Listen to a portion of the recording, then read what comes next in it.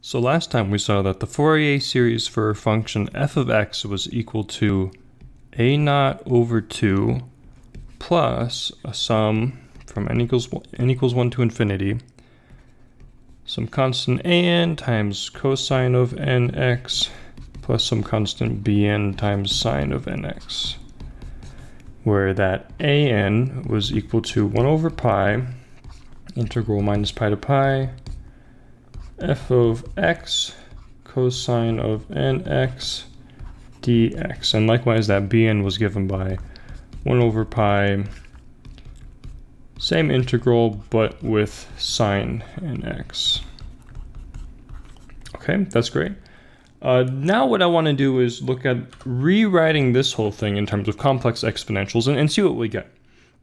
So uh, recall that Euler's formula, the, the, the chief way of relating sines and cosines and complex, complex exponentials is uh, e to the i x equals cosine x plus i sine x.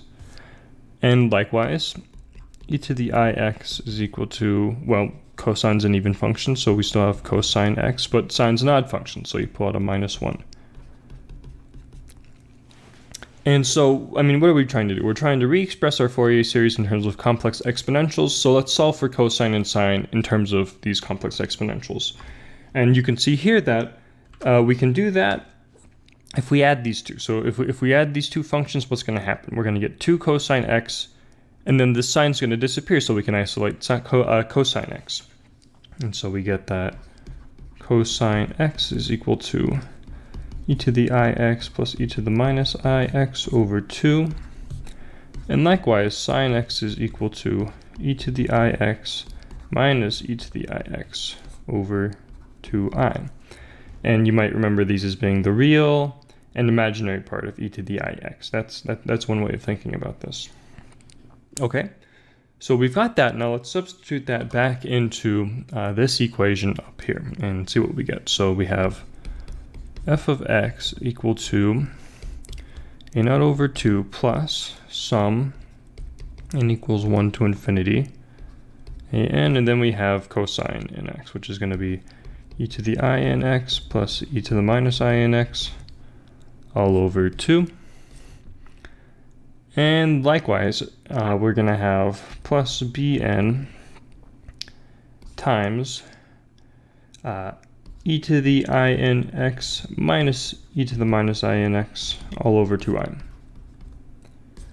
Okay, that's good, but let's simplify this a bit and, and try and get things in terms of just e to the inx and e to the minus inx. And so we can do that. And, I'm, and I'll do something in this next step, which is uh, we have a 1 over i right here. And then 1 over i is equal to minus i. So I'm, I'm going to pull out a minus i right here and work with that.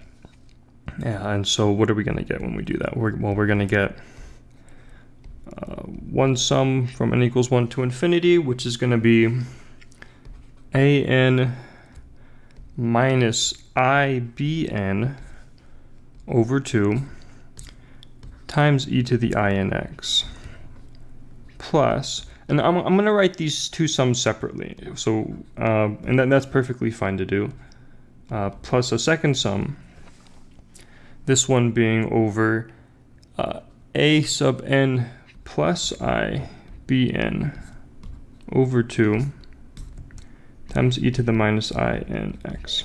Okay, uh, so this is all good. This this looks great. Um, the the only other thing that I'm going to do is I'm going to uh, rewrite this sum right here on the right hand side. So you'll notice um, on this left, on, on this sum right here, we have e to the inx. On this one, we have e to the minus inx.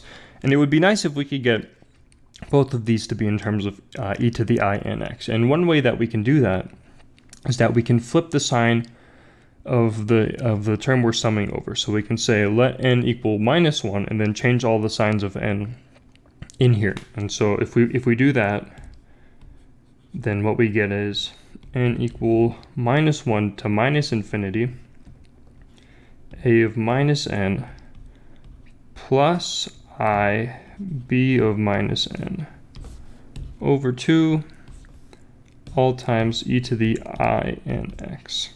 Okay, Uh, so that's great. That's all. That's all perfectly legal.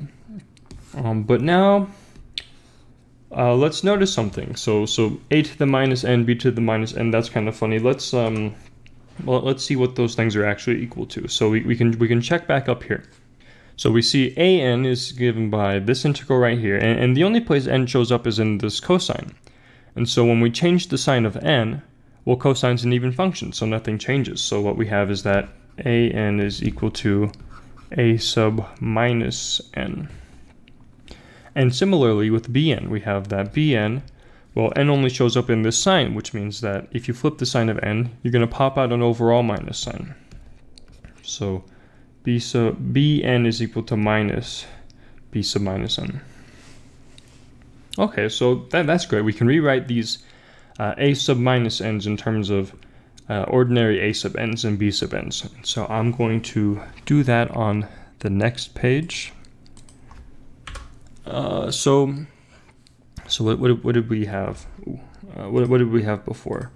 We had that f of x is equal to a naught over 2 plus sum n equal 1 to infinity a n minus i bn over 2 times e to the i n x plus, and then our, our, our, our modified our modified uh, sum from minus 1 to minus infinity over, over what? Well now, when we substitute in our new variables, we have an minus ibn over 2, and then we have e to the i n x. And so this is nice. So these two coefficients out in front are the same, and these two exponentials are the same. And the so so what what that means is that if, if we have n equals zero, we, we would have a sum from minus infinity to positive infinity. So so do you see what I'm saying here? So we have a sum that that's going from minus infinity up to minus one. We're skipping zero, and then we have a sum from one to infinity. So if we had that n equals 0 term, then we have a sum from minus infinity to infinity. Well, now wait a minute. Let's look at this term right here. We haven't, we haven't talked about this yet. What we would expect from an n equals 0, 0 term is a0 minus i b0 over 2 times e to the i 0x, also known as a0 minus i b0 over 2. Now wait a minute, we know that bn is equal to minus b minus n. So that means that b0 is equal to minus b0. Well, that means that b0 has to be equal to equal to 0. That's the only possible solution. Uh, so what that means is that this is equal to 0. Actually, the n equals 0 term is this term right here out in front. And so what that means, so th this is this is great news, right? That means that we can rewrite this Fourier series for f of x as a single sum from n equals minus infinity up to infinity of some constant times e to the i n x, where that constant is equal to a n minus i b n over 2. And I'll circle this guy because this is a good, really good, really useful way to write the Fourier series for a function f of x. So that's that's great. That's a great way of writing this Fourier series. We've we've managed to radically simplify our original series, which uh, you know just looking back to the other page, it used to be this this three terms uh, thing right here. We had sines and cosines that we had to keep track of, and two terms that we had to solve for these a n's and b n's. Now we've managed to simplify this so such that we can write the whole thing in terms of just one cn and one e to the i n x. Um, but you might complain, well, the Cn is still in terms of An and Bn, and I got to solve for those independently, and that's kind of annoying. Uh, so let's see if we can't find a way of simplifying this expression right here. So what do we have? We have that Cn is equal to, well, we're going to have a 1 half, or one, one half, and then, then An minus Ibn. So we have a 1 over pi from the integral, minus pi to pi, overall f of x out in front. And then we have what? We have an, which is going to be to contribute a cosine of nx.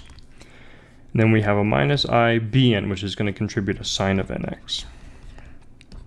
dx. Okay, now wait a minute. This is actually, uh, th this is this is familiar. This is exactly how we write e to the minus i in x. Uh, this is how we saw it on the other page.